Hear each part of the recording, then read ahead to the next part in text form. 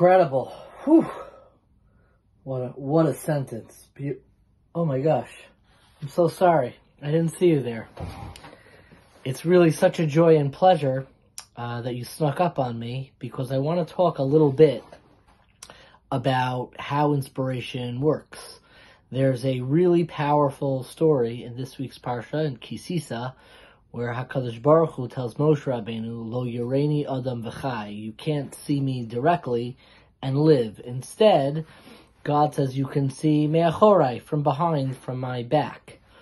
And I think that this is not just a distinction that we make when it comes to seeing God. God does not have a face and God does not have a back. I think this is a distinction that relates to how we inspire and how we relate to inspiration itself.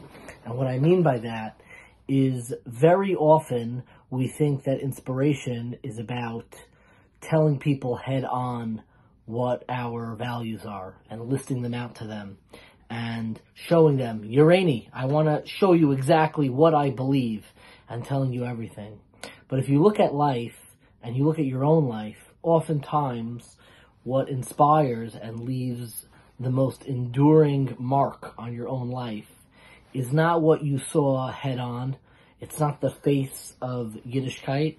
It is me'achorai. It is the back. And what I mean by that is it is the experiences, the moments when no one was actually watching or lecturing or talking to you directly, but what you saw people doing in between the moments. I know in my own life, my love of learning didn't come from my parents coming down and saying, you gotta learn more, you gotta learn more, though they certainly did do that as well. It was from the fact that in between on a Shabbos afternoon, on a Friday night, on a weeknight, I would always see my parents uh, curled up on the living room couch studying Torah. My mother would always be learning Chumash. My father had a chavrusa, still has a chavrusa for over a decade in Minchas Chinuch. And that's what left the biggest impact on me.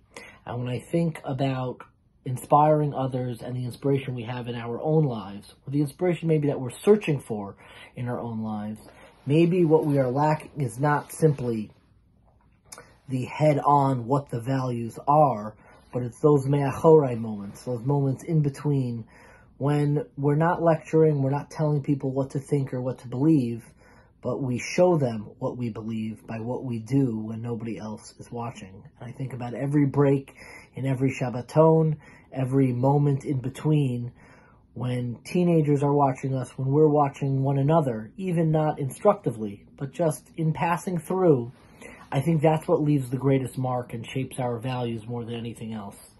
So what's most important is what you're doing, what you're reading, what you're connecting to, when no one else really is watching. And that way, the values that you transmit, while they may not be the panim, uh, they certainly are the me'achorai, what we tell from behind. While you can't see a person's face, you can still see their values as they pass by and pass on through.